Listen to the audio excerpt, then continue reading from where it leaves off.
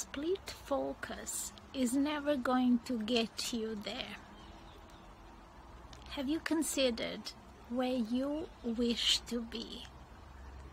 And have you considered that nothing else in this moment is as important as the place where you want to get to?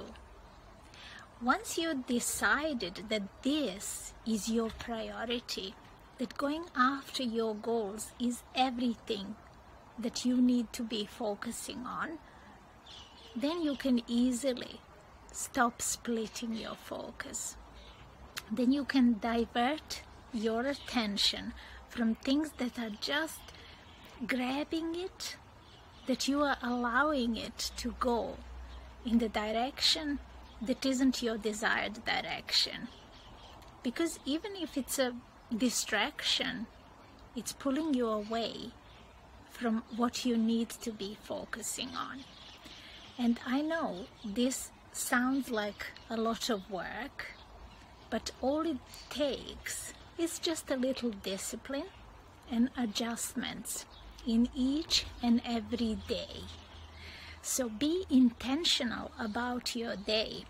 Start your day with purpose and intention.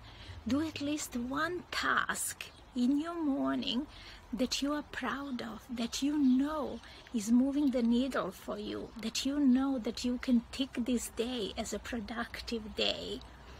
And number three is do something that you really love in each and every day. Once you do that, you will be training yourself to focus on things that only bring you clarity and peace and enjoyment. And those are the very things that will push you to go through uncomfortable, that will help you to never again split your focus, that will help you reach your destination, my friend.